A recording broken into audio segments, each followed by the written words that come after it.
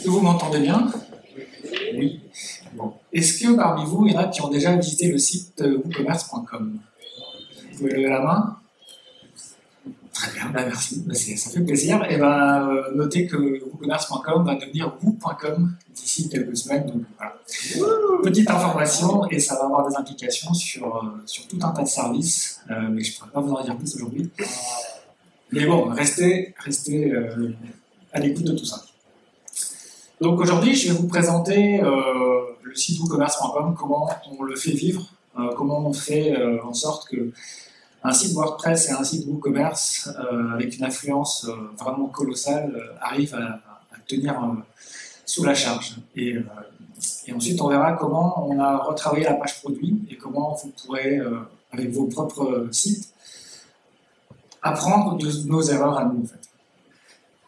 Donc au programme, on va faire un petit historique du site, on va voir qui travaille sur le site, les choix technologiques qu'on a, a décidé de prendre, on va parler du thème, euh, qui va faire euh, petite relation avec ce qu'on a vu tout à l'heure dans les, conférences précédentes avec le FSE et avec le nombre de plugins, donc les extensions. On va parler des données, qui fera une relation avec la conférence qui aura sur l'optimisation de la base de données avec Thomas Deguenon tout à l'heure. On va parler React, évidemment. On va parler des workflows, comment on travaille, comment on push le code. Les défis qu'on a vus, quelques outils que je vous conseille, Ensuite, on passera sur la refonte de la page produit, qui est euh, vraiment un gros, gros travail. Une petite conclusion rapide. Avant tout, je trouve que c'est important de rappeler qu'on est tous ici euh, grâce à WordPress, que, comme dit Matt, la technologie est meilleure lorsqu'elle rassemble les gens, et c'est la aujourd'hui. L'historique de WooCommerce. Alors, WooCommerce, avant WooCommerce, c'était Wootem. Et Wootem, c'était une boutique de thèmes avec un site tout ce qui est plus classique. Et, euh, et comme vous pouvez voir, il n'était pas hyper sexy. Ensuite, on l'a fait évoluer tranquillement. Euh, et puis, alors je m'excuse par contre pour la qualité des, slides, c'est la première fois qu'on a un écran euh, géant, tout simplement. donc le, thème a évolué, voilà, on a pris le pli de faire, faire vivre le site avec les outils de l'époque. Euh, voilà, on a mis l'affiliation en place déjà relativement tôt, c'était quelque chose qui était important et qui va revenir par la suite. Donc euh, continue, le nombre de téléchargements augmente. Euh, et puis on peut voir qu'en 2011, euh, on a un nom de domaine, woocommerce.com, il n'y a rien dessus, plutôt étonnant, mais ça annonce quelque chose. pourtant, en 2012, bien qu'on ait le domaine de woocommerce.com, on est toujours sur Wooten. Donc euh, le choix stratégique euh, de communiquer sur Wooten et pas sur le commerce n'est pas encore décidé. Euh, jusqu'à ce que en 2016, donc c'est quand même très longtemps après, on lance le site woocommerce.com qui au final est toujours la base qu'on utilise aujourd'hui. Et ça c'est important pour la suite de la présentation. 2023, on est sur un site qui donc a utilisé la base de 2016, mais pourtant qui utilise du React, euh, du TypeScript, des blocs, des patterns. Euh, et pourtant, c'est un site qui n'était pas optimisé du tout pour ce type de technologie à l'époque. Alors il faut rappeler que, alors je suis désolé pour les, les icônes qui sont, un, peu, écrasées, euh, il faut rappeler quand même que voilà, une boutique sur quatre dans le monde c'est e-commerce, donc il y a un trafic conséquent sur ce site. Et que bah, derrière, il va falloir assumer en fait euh, le trafic d'influence qu'il y a sur le site, et il va falloir travailler sur chaque micro, euh, micro optimisation. Alors pour ça, euh, on a pas mal de monde à travailler sur le site, notamment on a 30 développeurs qui sont à temps plein sur un projet, donc woocommerce.com. On a 11 marketeurs et puis on a 5 designers et on a je ne sais pas combien d'équipes dirigeantes qui nous demandent de faire tout un tas de choses. Euh, donc, Alors le nom des équipes, vous pouvez voir, hein, c'est Fuel Fire Desire pour les fans de Metallica, ça vous rappellera peut-être euh, un des premiers, euh, des premiers clips du groupe. Alors, les équipes de dev, elles sont séparées en fait en pôles. Il va y en avoir un qui va travailler sur tout ce qui est paiement et transactions. Donc ça va être très technique, ça va être vraiment orienté partenariat également avec euh, les instituts bancaires. on va avoir une autre équipe qui va être de l'expérience d'achat, donc le tunnel d'achat sur WooCommerce.com, pardon. Et euh, donc les partenaires et les marketplaces. Donc il faut voir aussi que quand vous allez sur, euh, sur WooCommerce, dans votre WooCommerce, et que vous allez dans Extension, vous avez une liste de, produits ou d'extensions qui s'affichent, et ça en fait c'est géré depuis WooCommerce.com. Donc c'est en fait la page s'affiche dans l'interface de WordPress, mais elle est déportée en fait sur nos serveurs. Et en fait, ensuite, on a pardon, le front-end et le marketing, l'équipe dont je fais partie, et qui s'occupe vraiment de toute la partie visuelle du site. Et le reste, après, c'est euh, la gestion de, comment dire, des tests produits, des, produits qu'on va mettre sur la place de marché. Alors, l'avantage qu'on a par rapport à ça, c'est qu'on euh, travaille directement avec les équipes de WooCommerce Core. Donc, on fait évoluer WooCommerce Core aussi en fonction des, besoins de WooCommerce.com. Et ça, c'est important, c'est que comme on a un besoin qui est un peu spécifique, on a des expertises qui peuvent servir en fait au plus grand nombre. Donc, quand on, identifie quelque chose doit mettre en place sur WooCommerce.com, on va aller voir les équipes de WooCommerce Core et on va leur dire écoutez, voilà, nous, on a besoin de, ça et ça pourra bénéficier à la, majorité des utilisateurs. Donc, on a cette relation-là. On a également la relation avec les équipes de Gutenberg euh, sur tout ce qui est bloc. Et évidemment, euh, les, tous les blocs qui ont été créés sur WooCommerce Core ont découlé de travaux qui ont d'abord été faits sur WooCommerce.com. Ensuite, on travaille avec évidemment WordPress VIP puisque nos serveurs sont hébergés sur, euh, sur VIP, qui est en fait le très haut de gamme des hébergements WordPress.com. Donc WordPress.com évidemment pour l'hébergement. Donc toutes nos équipes sont euh, dispatchées un peu partout. Ah, c'est pixelisé, hein, désolé, mais bon. Voilà, donc on est partout et on travaille en télétravail. Les choix technologiques qu'on a décidé de, prendre pour ce projet, euh, vous allez voir, il n'y a rien vraiment de folichon. Hein, euh, ça, c'est donc les stats qui, sortent du, repo GitHub. Et puis sur ce côté-ci, je vous ai le nombre de fichiers. Donc, le nombre de fichiers PHP, on est à 11 000. JavaScript, on est à 1500 et TypeScript, on est à 450. Ça, c'est le projet global. C'est le, site en entier. Et les technologies euh, incluent également la partie CLI, on fait la ligne de commande. Euh, pourquoi? Parce qu'en fait, pour des raisons de sécurité, on a décidé que certaines tâches ne pourraient se faire que en CLI, donc en commande. Et à chaque fois qu'on exécute une ligne de commande, elle va s'exécuter sur la partie staging du site, donc la, version de test, et ensuite, si ça fonctionne bien, si on casse pas tout, là on passera en production. Euh, et des commandes comme ça, on en a quelques centaines en fait. Donc ça permet vraiment euh, d'éviter de casser les données. Le thème, alors vous allez voir, ce qui est intéressant, c'est que, comme je vous dis tout à l'heure, c'est un thème classique, donc ce n'était pas un thème orienté FSE à la base, et le ratio entre le nombre de fichiers PHP et le nombre de fichiers JavaScript s'est inversé. Donc c'est bien la preuve que malgré le fait qu'on a un thème classique, on est orienté FSE avec du React et des composants et des patterns, etc. Alors c'est un thème qui est, un peu hybride, donc euh, dans le sens où chaque élément que vous allez voir sur le site, en fait c'est un élément qui est composé, qui est écrit pardon, en React, chargé soit depuis PHP, soit depuis TypeScript, euh, soit depuis les blocs. Donc ça nous permet en fait, le fait d'écrire des blocs en React, de pouvoir charger soit dans les, euh, dans les fichiers qui sont présents dans le thème d'activement, soit dans les blocs. Alors les blocs et les, patterns, on en a parlé dans la conférence précédente, la première conférence, euh, c'est en fait le gros du projet.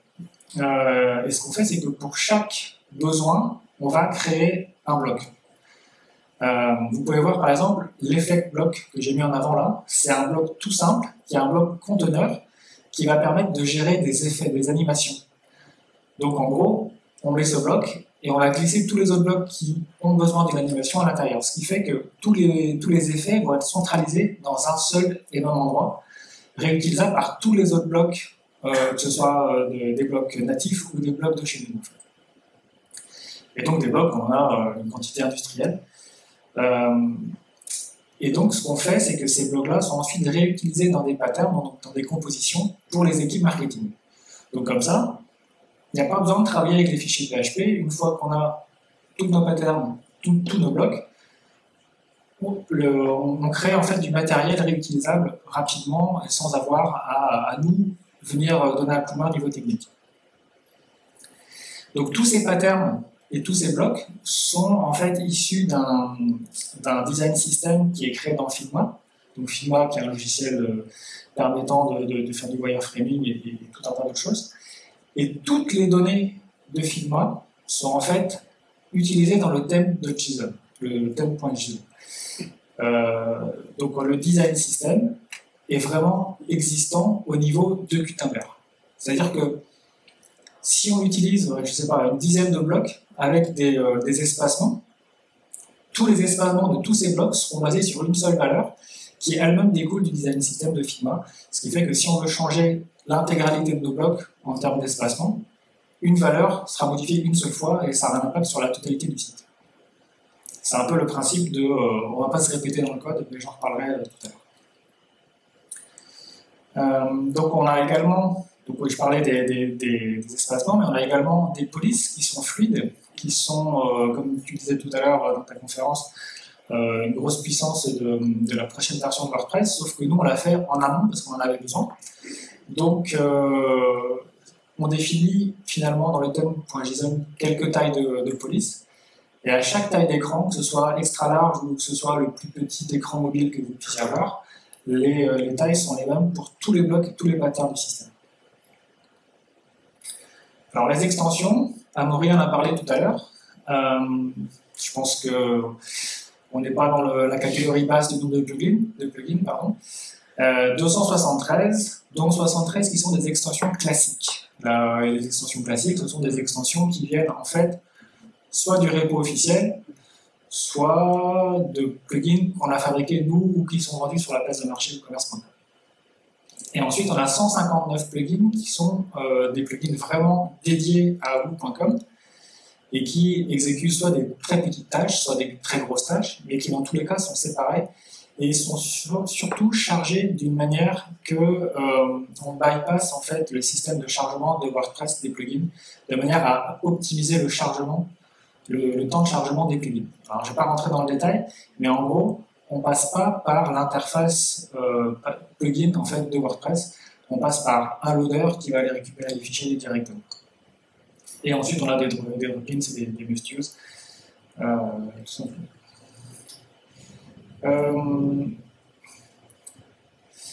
voilà, donc c'était un exemple, par exemple, de, plugin loader. Euh, ça, c'est des plugins classiques, mais les plugins qui sont chargés par le loader custom ne sont pas affichés ici, euh, parce que c'est une librairie euh, qui permet de le faire. Alors, important à savoir, c'est que WooCommerce.com utilise toujours la dernière version de WooCommerce Core, et notamment des versions bêta. C'est-à-dire qu'en production, on va travailler avec nos produits bêta pour dans une certaine manière, prouver que nos produits sont suffisamment stables pour être utilisés. Alors, les données, euh, elles sont colossales sur le site de, de woocommerce.com.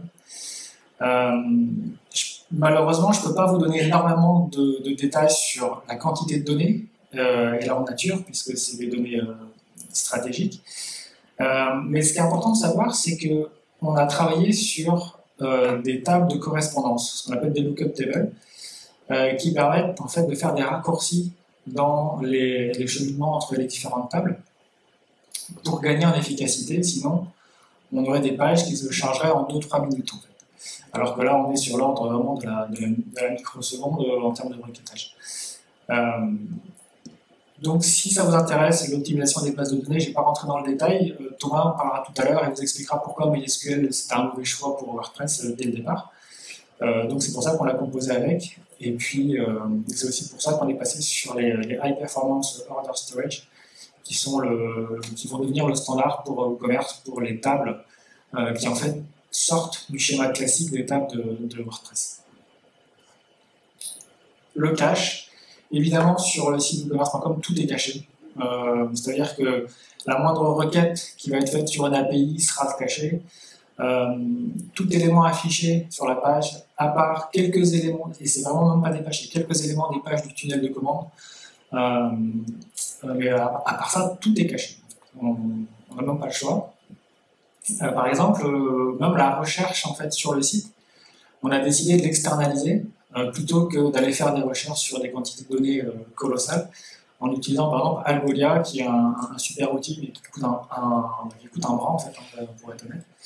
Euh, mais du coup, c'est aussi une manière de gagner euh, en temps de chargement parce qu'on euh, on a des moteurs de, recherche un petit peu partout sur, sur le site et on ne pouvait pas se permettre en fait de faire nos propres requêtes sur ce type de données.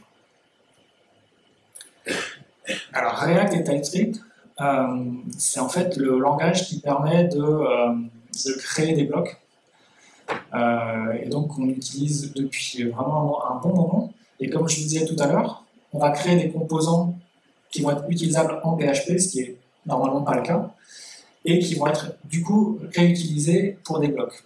Donc on fait le code une seule fois et on peut le charger de la manière qu'on le souhaite.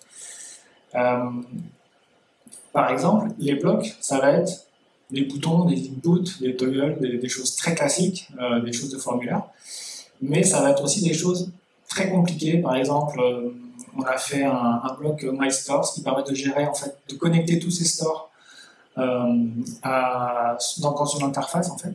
Et, ça, ça demande vraiment un travail assez, assez, énorme. Je vous ai mis quelques, quelques, quelques screenshots de, quelques blocs qu'on a, quelques composants, pardon, mais vraiment, il y en a une quantité industrielle. et l'avantage de ces blocs, en fait, c'est que euh, ils vont charger uniquement euh, une partie de la page plutôt que de recharger l'intégralité de la page. Ça, c'est l'avantage de React. Donc, on a un thème classique avec des fichiers PHP, et à l'intérieur, le contenu, chaque élément, est chargé indépendamment les uns des autres. Et ça, c'est grâce à React. Euh, donc, l'avantage en fait du React, c'est que euh, c'est rapide, mais ça requiert une syntaxe un petit peu particulière.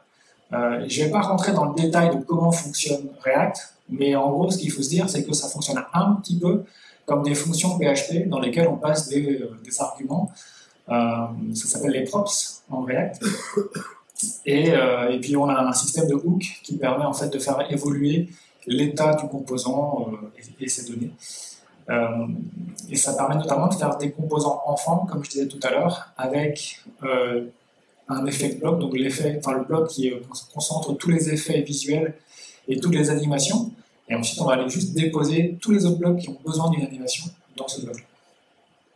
Après, bon, le, désavantage de React, c'est que ça demande une compilation et que c'est pas forcément à la portée de, tout le monde d'avoir euh, un, environnement de développement React. Alors, TypeScript, c'est en fait une surcouche qui permet de pouvoir euh, déterminer quel type de contenu on va mettre dans le composant React, de manière à éviter d'avoir des données qui ne seraient pas euh, d'un type euh, spécifique.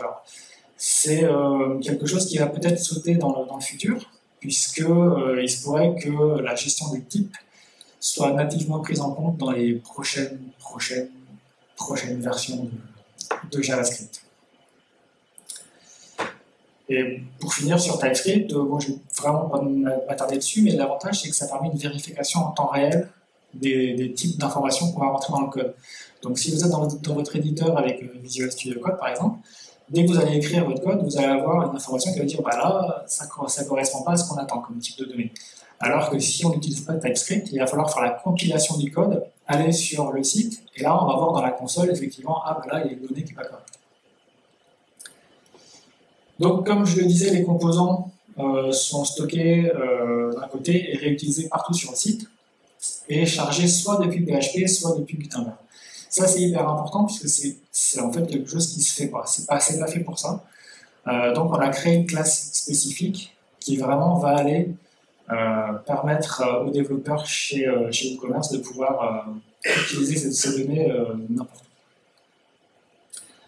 Pour tester les composants React, euh, on ne va pas les tester à chaque fois euh, sur le site. On va aller utiliser un, outil qui s'appelle Storybook, qui est en fait un package NPM euh, et qui permet de tester toutes les combinaisons possibles d'un composant. ça va être par exemple son contenu, ça va être sa couleur, ça va être sa taille, ça va être s'il y a des requêtes, les, API, les endpoints, etc. Donc c'est un super outil qui, se combine très très bien avec, avec React et TypeScript. Donc là, par exemple, c'est un bloc, euh, vraiment très très classique, un CTA, et ce bloc est constitué d'un composant React. Donc c'est là où la logique est un petit peu bizarre, c'est que ce bloc et ce composant en fait font la même chose, et l'un appelle l'autre. Donc on ne réécrit pas le code, on réutilise. Ce qu'on faisait jusque-là, c'est que on crée nos propres blocs euh, quand on avait un besoin spécifique, et on s'est rendu compte que finalement, le développement de Gutenberg allait finalement assez vite, et que on pouvait au final réutiliser des blocs existants, mais les étendre. C'est-à-dire, on va prendre, je ne sais pas, le bloc colonne, et on va dire, oui, mais nous, le bloc colonne, euh, il fait des choses sympas, mais, mais c'est pas assez puissant pour ce dont on a besoin. Donc, on va aller lui rajouter des, attributs, des fonctions, euh, des options, et donc ça permet de se rapprocher au maximum du code de WordPress sans avoir à réécrire la roue derrière et surtout pas avoir à maintenir plusieurs versions. Par exemple, on a créé un, bloc bouton. Et le bloc bouton, euh, nous, il nous sert par pour traquer les liens. Quand on clique sur le lien, on a tout un tas de tracking derrière. Euh, sauf que du coup, on a un bloc bouton natif et un bloc bouton commerce.com. Donc, c'est un peu problématique. Donc, on a fusionné en fait le, le, meilleur des deux pour avoir un seul bloc. Donc, on réutilise le bloc natif et on le customise. Alors les workflows, c'est comment on fait pour, au final, partir d'une idée et comment l'implémenter, jusqu'à l'implémentation. Donc chez, euh, chez Automatique, euh, donc la société mère de commerce.com, on a euh, ce qu'on appelle des P2. Les P2, c'est des blogs internes qui permettent une discussion sur du long terme sur un projet, sur une idée, sur euh, la vie de l'entreprise, etc. C'est là qu'on va commencer à discuter.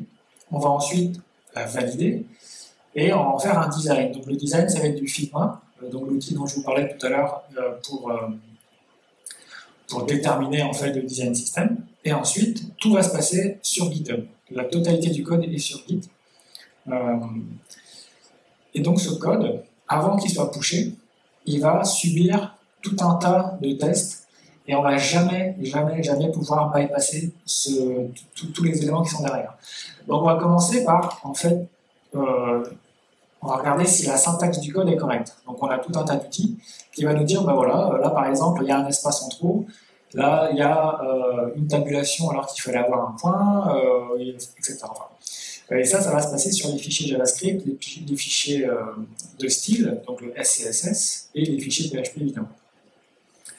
Une fois que le code semble correct, qui fonctionne sur l'environnement de test, on va donc l'envoyer sur Git, mais avant qu'il soit envoyé sur Git, on va faire un pre-commit check. C'est-à-dire qu'on va vérifier euh, que le code est conforme à tout un tas d'éléments, notamment euh, la protection de branche, c'est-à-dire qu'on ne va pas pouvoir envoyer sur n'importe quelle branche.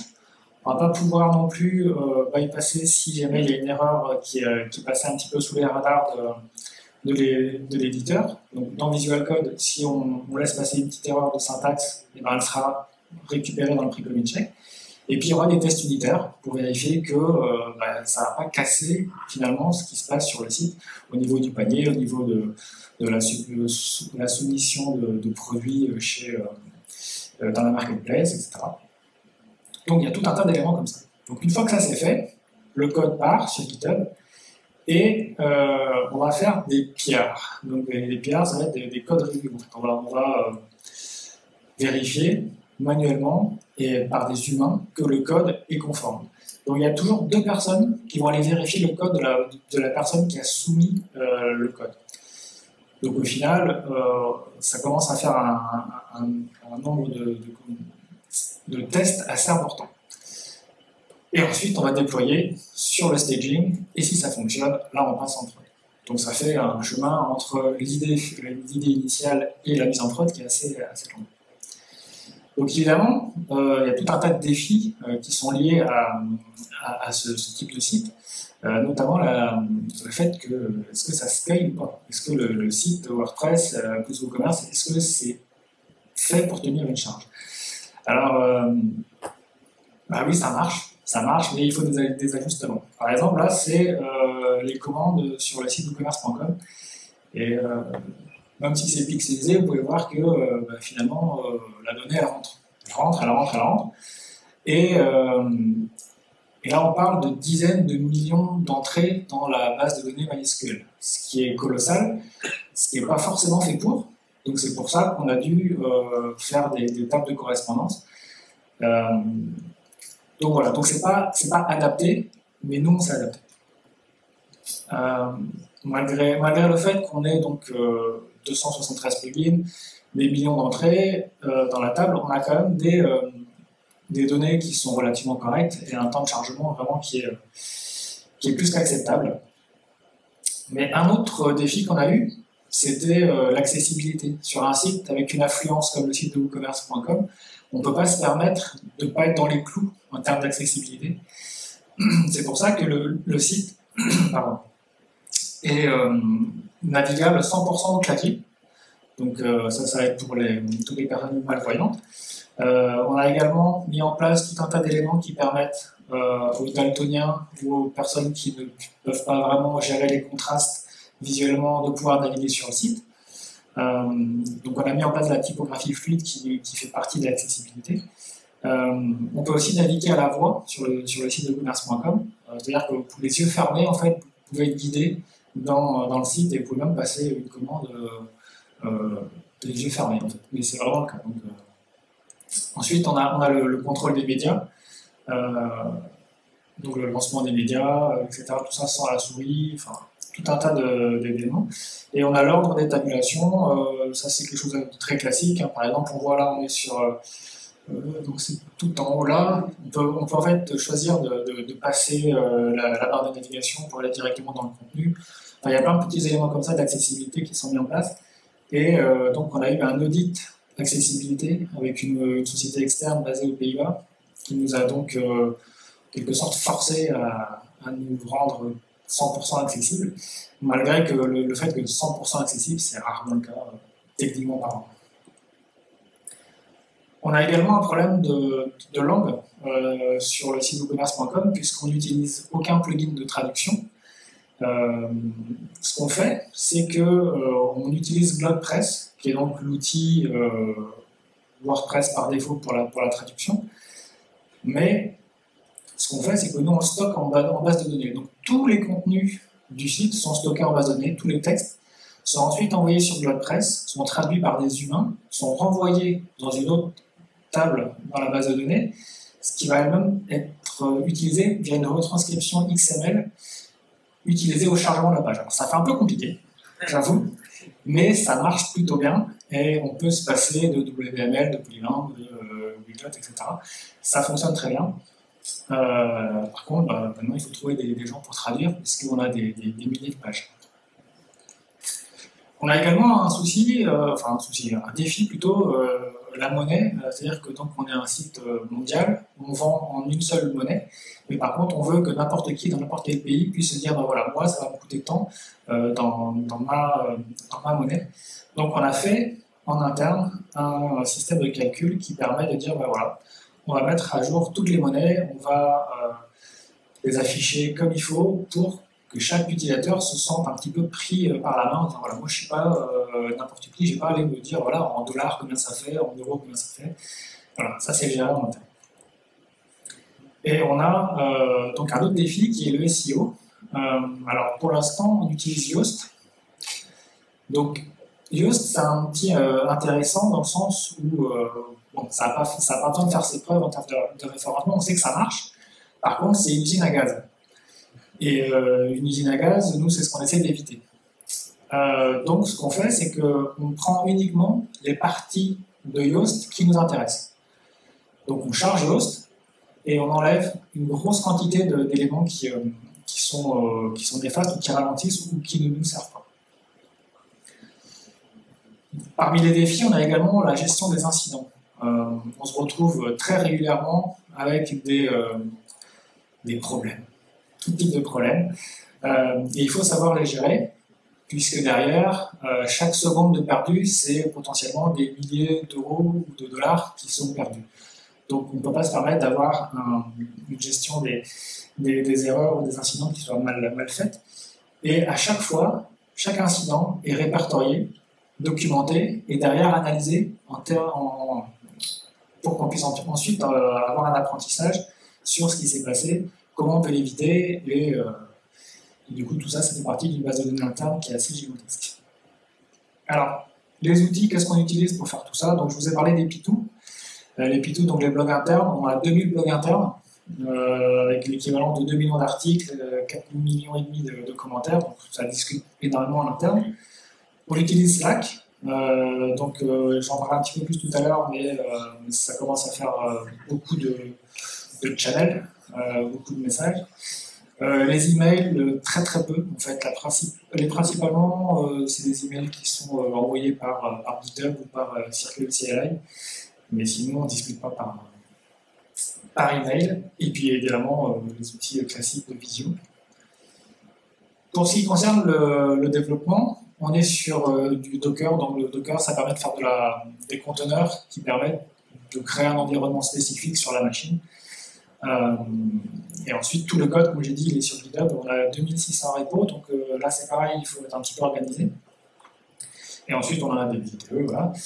Et on a Circle CI. Circle CI, c'est un outil qui nous permet de tester, encore une fois, après qu'on ait, mis tout le code sur GitHub, avant de le balancer sur la production, de, s'assurer à 200% que tout va bien se passer. Donc c'est un outil vraiment euh, professionnel. Euh, tout comme euh, donc, un autre outil qu'on a créé en interne qui s'appelle Explat, qui permet de faire du A-B testing. ça évidemment, on ne va pas faire de mise en place de, fonctionnalités si derrière on n'est pas sûr que bah, ça nous rapporte quelque chose. Donc on va faire du testing.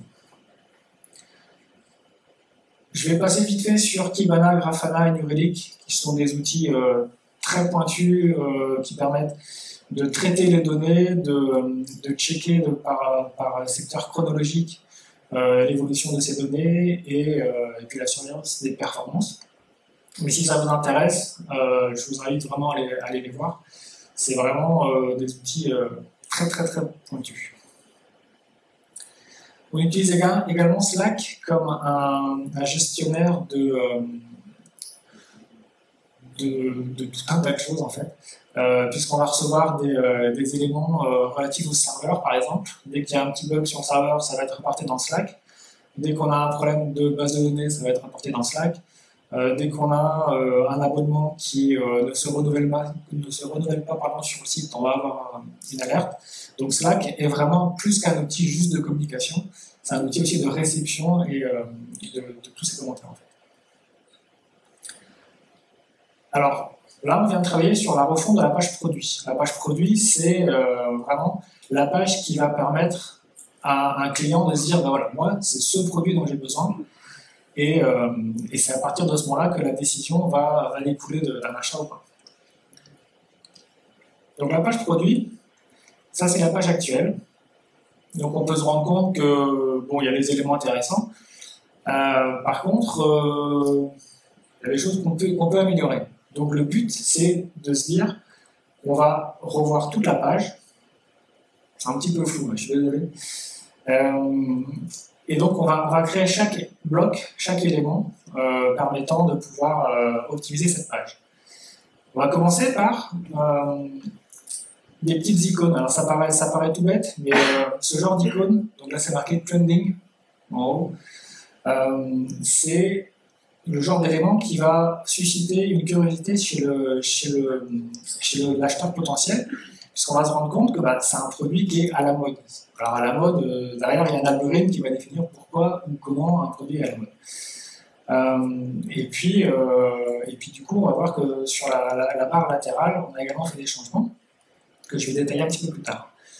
Donc la page produit, elle a également des fonctionnalités qui sont, on va dire, moins importantes.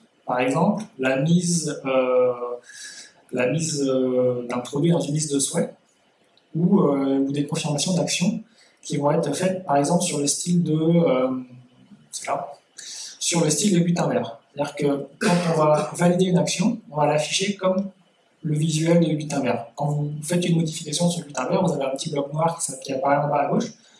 On a repris ce visuel pour pas plus perdre l'utilisateur. Tout à l'heure, on avait vu qu'on avait une zone qui est un petit peu typée euh, zone alerte, alors que pas du tout, c'était une zone qui permettait d'avoir une information. Donc, c'est des choses qu'on a modifiées notamment par la, couleur, la typo et, et la mise en place des éléments. C'est-à-dire que souvent, quand on arrive sur une page produit, on a une image ou une galerie d'images et on a la description tout de suite. Sauf que les personnes qui arrivent sur le site, en général, elles veulent savoir tout de suite à quoi va servir un produit. Donc c'est pour ça que la description du produit, nous en fait, elle est assez bas dans le, dans le déroulé de la page. On va commencer par les points forts, donc les highlights, et ensuite on va aller sur les features, donc les fonctions du produit, et seulement après on aura la description. Donc au final, en à peine quelques secondes, on sait tout de suite ce que fait tel ou tel produit. Alors après, il y a un élément qui est hyper important, c'est donc euh, les avis clients. Les avis clients, on a décidé de créer un système qui va permettre d'avoir une certaine granularité. C'est-à-dire qu'on ne va pas juste avoir une note, on va avoir plusieurs notes qui vont faire une compilation euh, d'informations. Euh, est-ce que c'est facile à utiliser? Est-ce que c'est facile à installer? Est-ce que c'est bien documenté Etc. Et donc, à partir de là, on aura une note qui permettra euh, au client de savoir si c'est un produit qui, est recommandé ou pas. On a mis une nouvelle section FAQ également, euh, mais l'idée c'est quand même de se dire, voilà, euh, on arrive sur la page produit, on a toutes les informations, on n'a pas besoin d'aller ailleurs. donc le produit associé et chose nouvelle, on, inclut également des articles du blog qui sont en rapport avec le produit. Donc là, au final, on a totalité des informations sur une page de manière euh, bien, écrite. Euh, et on va encore plus loin en se disant, ben voilà, on est sur la page produit, maintenant le but c'est quand même d'acheter, mais il ne faut pas non plus faire peur aux, clients. Euh, souvent, on a un prix qui est affiché en gros, et puis on se dit, ben voilà, on va payer tant. Donc nous, ce qu'on a dit, c'est que on va vendre des produits annuellement qu'on va afficher en tarif mensuel. Ça fait un petit peu moins peur. On a même poussé le vice un peu plus loin en disant que certains produits auront un tarif journalier. Donc là, on se retrouve avec quelque chose à, 2 dollars. En fait, 2 dollars, ça va, mais au final, 2 dollars fois 365, ça fait, ça fait un peu C'est des petites techniques comme ça. Euh, pareil, toujours, le but, c'est pas de faire peur, c'est de dire, voilà, on va, on va, derrière, euh, vendre. Avant, on utilisait le mot euh, installe euh, de download, pardon, donc télécharger. Maintenant, on va dire bah, installe, parce qu'au final, le but c'est d'installer sur un site. Donc, quand on clique sur ce bouton-là, bouton au final, on va pouvoir installer le produit sans même être passé par l'interface de WordPress. Donc ça, c'est tout un, processus, mais au final, depuis le site du commerce.com, on peut installer son produit. Alors les prix promo, c'est un petit peu la même chose, c'est-à-dire que euh, essaye de ne pas faire peur. Parce que euh, le but, c'est pas de dire au client, vous allez, euh, vous allez perdre une fortune. Donc voilà, on va pas faire peur, on va afficher toujours des tarifs qui sont un petit peu, je ne vais, pas dire mensongers, mais qui font, moins peur. là, les tarifs journaliers. Et puis, donc, on a essayé quelque chose également, c'est quand on scroll, Souvent, quand euh, on scrolle la page, le prix va rester un petit peu perdu en haut. Donc nous, on a mis une petite box euh, qui, est en fait en sticky et puis qui permet toujours euh, de se dire, ok, je décide d'acheter maintenant. Ensuite, nous avons des éléments qui sont très spécifiques à e-commerce.com, la compatibilité avec les autres produits.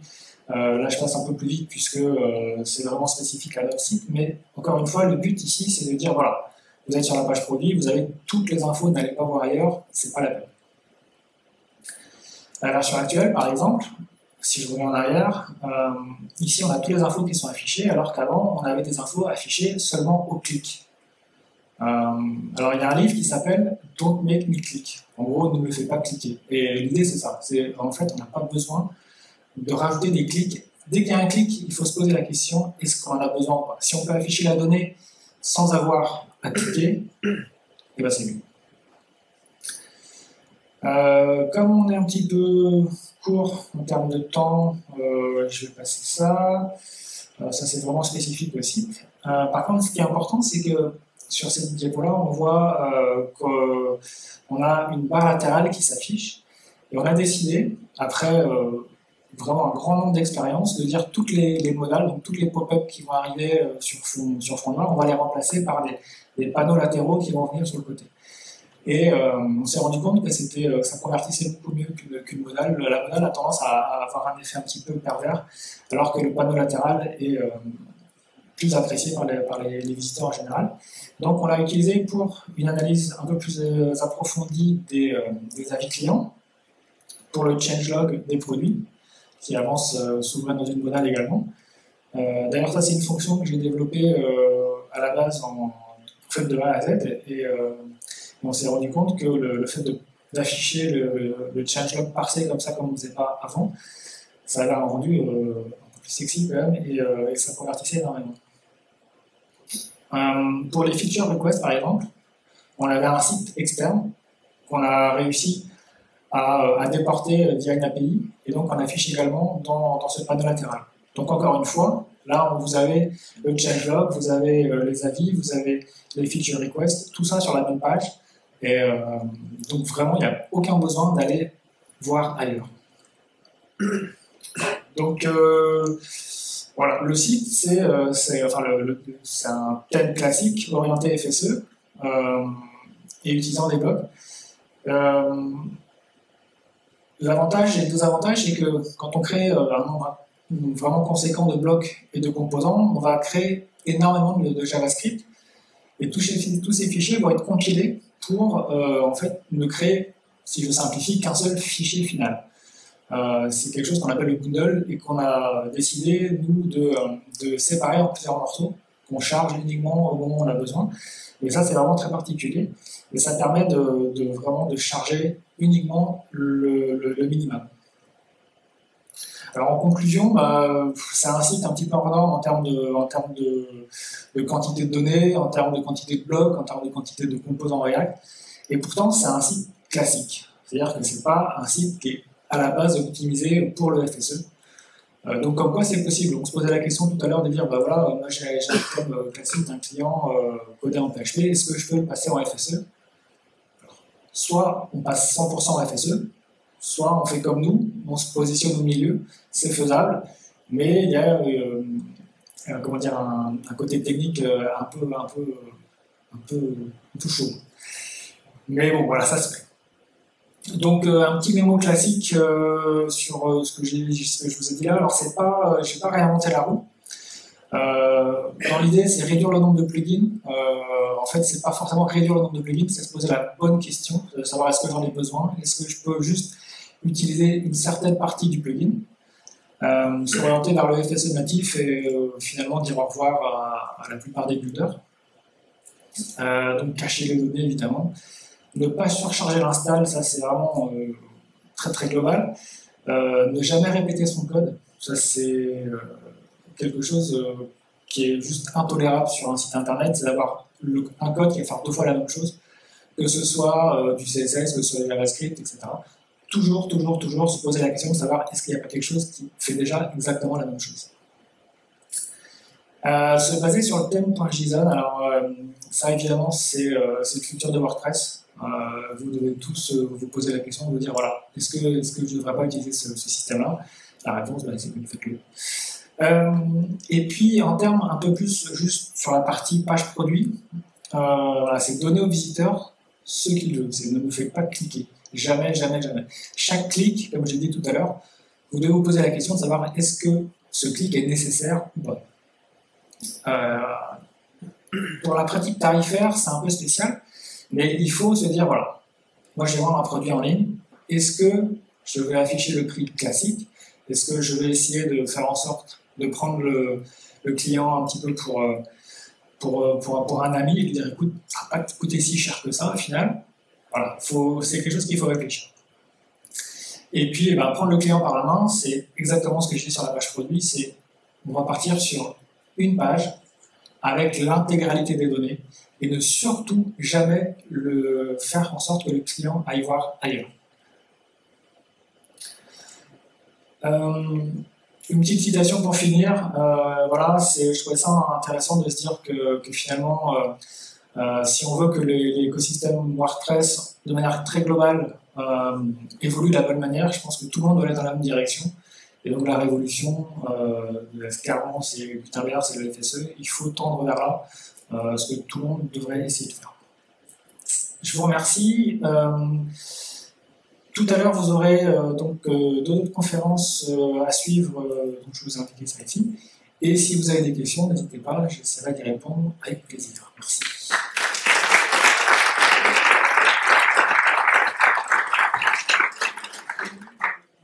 Questions ici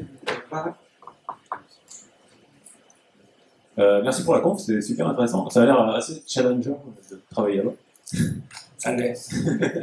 euh, je reviens sur les bases de données en fait. Euh, parce que tu disais MySQL, c'est bon, c'est depuis le début, machin, tout ça. Est-ce qu'à un moment, c'est pas posé la question de est-ce qu'on fait du code pour adapter à, une autre, un autre type de base de données C'est une très bonne question et la réponse sera dans la conf de Thomas tout à l'heure, qui va te donner exactement la réponse. Ok, bon, bah, je vais attendre. Laquelle Celle de. C'est tout à l'heure, cet après-midi, ça sera dans, dans la petite salle. Thomas Denelon.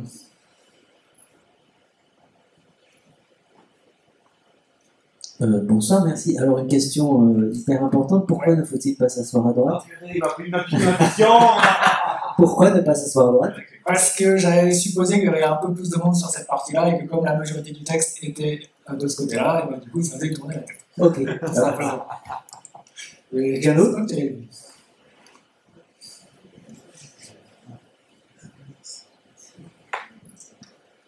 Merci, c'était super, Rémi. Euh, j'ai deux questions en vrai. Pourquoi du coup opter pour un thème euh, non, enfin non, justement un thème classique orienté FSE et pas totalement FSE. Et deuxièmement, comment tu le fais pour le tendre FSE C'est quoi C'est l'ajout du thème .json à l'intérieur? Alors première euh, première réponse, c'est la dette technique tout simplement. On ne peut pas du jour au lendemain passer sur un site de cette envergure-là 100% FSE, c'est pas possible. Euh, et ensuite, comment on passe euh, d'un thème classique à un thème euh, orienté FSE C'est évidemment l'ajout du, du, thème. Et après, la création de blog, bah, c'est exactement ce qu'on que, ce a vu dans la première conférence sur la FSE. mais clairement, comme tu l'as dit tout à l'heure, hein, c'est un vrai challenge de passer d'un thème classique à un thème FSE. il se peut que dans certains cas, ce soit encore plus simple de juste exporter la donnée texte en fait d'un site classique et de la mettre dans un site FSE plutôt que de repartir sur la même installation. Et ça, c'est encore un autre, un, débat. Merci. Une autre question? Et eh ben c'est fini. Merci à tous. Ah, ah attendez. D'autres questions? Une question. Euh, comment on fait pour avoir un nom de domaine qui s'appelle ou.com est-ce que c'est pas c'était un coup de bol, euh, voilà. Et sinon, est-ce que ça coûte une blinde? Je pense que la réponse est dans la question. Mais, euh, mais après, après, moi, je ne suis pas dans, dans, ces petits papiers-là. Moi, je m'occupe vraiment de la partie, de la partie développement. Ok. Et une autre question, tu as démontré qu'il y avait plus de canaux Slack de membres sur votre espace. Est-ce que qu'est-ce qui justifie en fait ce, résultat concrètement? Alors là, ça sort un peu du cadre de cette présentation, mais en gros, chez Automatique, on est, on est 2000 personnes. Euh, sur les 2000 personnes, euh, il va y avoir des gens qui vont avoir euh, des hobbies, par exemple. Et ces hobbies, par exemple, vont faire l'objet de la création de chaînes Slack, par exemple, pour les musiciens, pour les amateurs de cuisine. Donc tout ça, les bout à bout, ça fait beaucoup. Mais après, il y a aussi une chaîne Slack par WordCamp, par exemple y avoir une chaîne Slack par projet, donc euh, ça, va, ça va très très vite. Donc euh, ouais, euh, c'est quelque chose qui... Ok, c'est pour le télétravail finalement que ça justifie d'avoir ça. C'est que pour ça. Ouais. Ah ouais. Et une toute dernière question, j'en profite, par rapport à la, base de données, le fait que MySQL, ça, ça pose un problème, et que vous avez compensé finalement les lacunes aujourd'hui, est-ce que là vous êtes en mode on peut tenir plusieurs années et c'est cool parce que tout est stabilisé et on va encore scaler où on se pose déjà la question, dans 4-5 ans, euh, il va falloir qu'on aura encore plusieurs millions de lignes en plus, ça passera plus et on va devoir trouver de nouvelles euh, techniques. On a une infrastructure qui permet de tenir, euh, ça c'est sûr. On est sur, sur un, hébergement via Pivot, donc les hébergements à peu près les, plus, sophistiqués qu'on puisse avoir chez WordPress.com. donc non, donc ça peut tenir.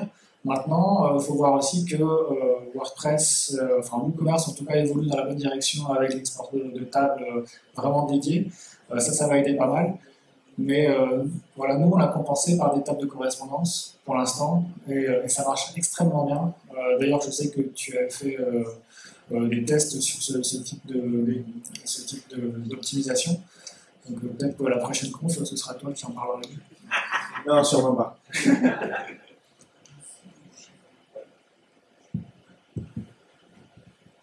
Ouais, j'ai peut-être loupé le, le début. Donc, euh, tout ce que, est-ce que euh, parfois vous faites des, des évolutions sur WordPress.com Est-ce que ça, est-ce que c'est repris parfois sur la version euh, de WordPress, de WooCommerce pardon? Est-ce que c'est repris sur la version Ouais, ouais. Oui, on fait, on fait des, des- des évolutions. euh, en fait, on, on fait évoluer WooCommerce Core pour nos besoins, en sachant que ces besoins-là auront euh, probablement des, euh, des, euh, des bénéfices pour la communauté. Et donc, on va aller voir les équipes de WooCommerce Core, leur dire voilà, voilà ce qu'on a fait, est-ce que ça match avec vos objectifs? Si oui, est-ce qu'on peut l'implémenter? Et c'est souvent le cas.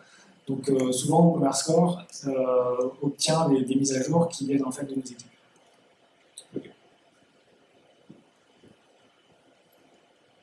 D'autres questions? Que je pensais pas avoir autant de questions, je pensais que ça allait être vraiment chiant la présentation, mais ça va le faire un peu. Par contre, c'est midi l'année prochaine. Comment t'as fait pour avoir l'écran C'est midi. Euh, résolution 1560 par 1000, non, 5000, 5700 par 1300 quelque chose. Voilà. Là, merci beaucoup.